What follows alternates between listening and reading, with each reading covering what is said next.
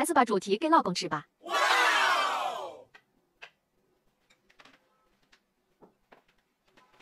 这太过分了，一边吃还一边尝。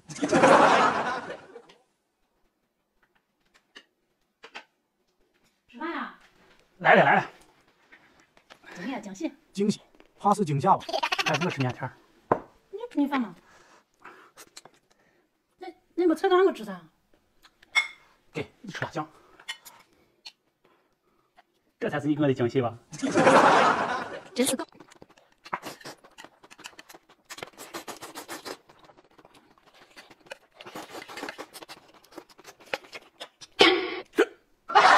哈哈哈。